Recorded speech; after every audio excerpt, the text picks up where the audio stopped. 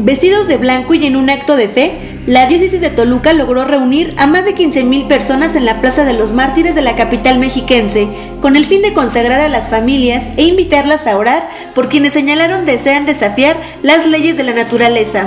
Es que no puede haber un matrimonio igualitario, el matrimonio es hombre-mujer.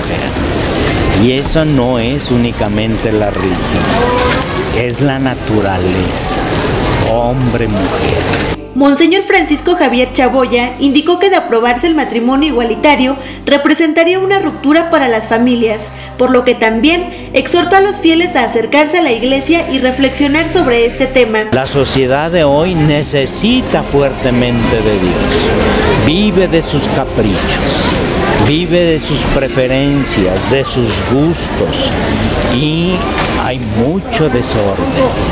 Los gustos cambian los principios y valores permanecen siempre firmes. Acompañado por los sacerdotes de las diferentes parroquias del Valle de Toluca, el representante de la Iglesia Católica dijo que pese a que no está de acuerdo con esta unión entre personas del mismo sexo, ha invitado a los fieles a que sean respetuosos y no ejerzan ningún tipo de discriminación. Pues que no ofendiéramos a estas personas que por ese matrimonio que, dicen que es matrimonio, pero no ahorita no los acaban de decir en Génesis que es hombre y mujer, pero que no los ofendamos, que los respetemos, respetemos sus, sus ideas. Con imágenes de José Luis Rodríguez, informó para Nuestro Mundo Karina López.